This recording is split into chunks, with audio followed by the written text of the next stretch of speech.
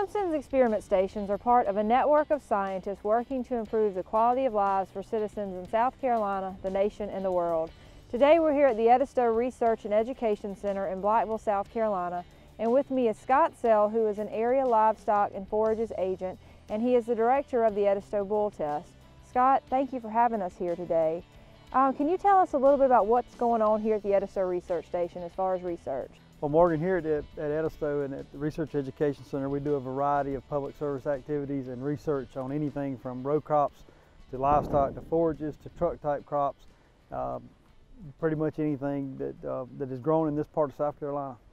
Well, and your main focus is livestock and, and particularly the Edisto bull test. Tell us a little bit about the bull test.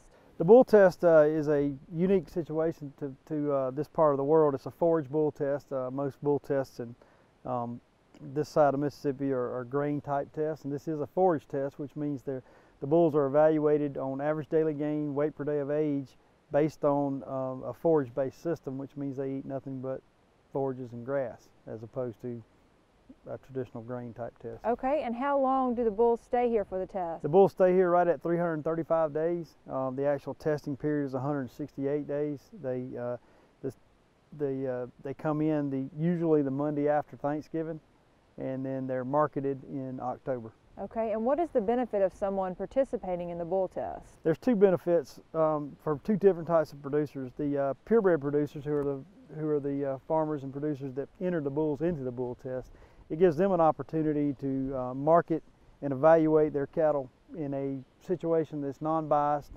um, coordinated and run by Clemson University and in, the bulls are tested in a situation where they're all on a level playing field. Actually, at the end of the test, we rank them based on an index, and that index consists of their average daily gain plus their weight per day of age added together, and then we rank them, and the highest bull, the highest indexing bull is marketed first.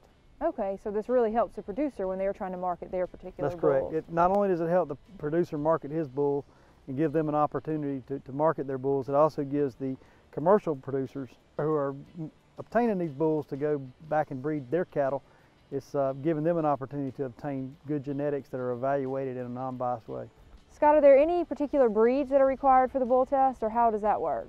We take all breeds as long as they're registered with a with a certified registered type um, cattle association. Okay, and what age are the bulls when they're entered in the bull test? Anywhere from uh, eight to nine months up to 15 months.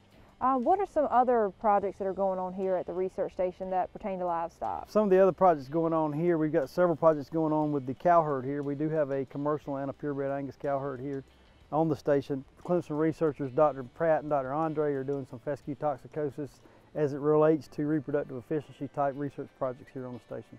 Okay, well that sounds great. It sounds like the Edisto Research Station is really a great service and a great resource for livestock producers in South Carolina, as well as the whole country. So thank you so much for having us today, and how can people find out more about the Edisto Bull Test and about the Edisto Research and Education Center? Morgan is a wealth of information on our, um, on our website, and uh, there's a link to every project going on here at the Edisto Research Education Center.